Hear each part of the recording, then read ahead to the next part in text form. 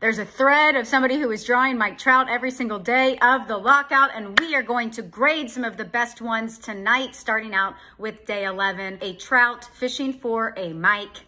I am going to give this one a 6 out of 10. Mike Trout and a burning. This is fine room. We have all been there. Note the burning CBA on the table. This is going to score an 11 out of 10. Day 61, I don't get this one, but it does remind me of Jake. So because of that, it will get a 7.5 out of 10. This one, a very important tribute to Cat Dog. I know some of you don't know what Cat Dog is, and that is very unfortunate, but I also love the face that Ohtani is making in this one, so we are going to give this an 8 out of 10. Day 70, another very important picture of Trout and Ohtani properly portraying how jacked Ohtani is. This one will get a 9 out of 10. Day 85. This might be a reference that I'm not getting, but both of their facial expressions and Trout and a bathtub of baseballs grades this one out at a 7 out of 10.